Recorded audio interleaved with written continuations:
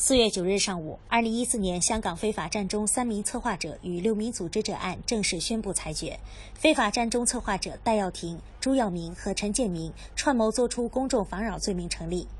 六名组织者亦罪名成立。早上八点半左右，戴耀廷、朱耀明和陈建明在内的九名被告到西九龙裁判法院听取裁决。案件吸引了大批媒体前往。现场亦有大批支持香港警方严正执法的市民举行集会，支持法院严惩违法占中分子。最终，戴耀廷、朱耀明和陈建明串谋作出公众妨扰罪名成立，戴耀廷和陈建明煽惑他人作出公众妨扰罪成。其余被起诉的六人中，陈淑庄、邵家珍、张秀贤、钟耀华、黄浩明两项控罪成立，包括煽惑他人作出公众妨扰及煽惑他人煽惑公众妨扰罪。李永达一项伤惑他人作出公众妨扰罪名成立。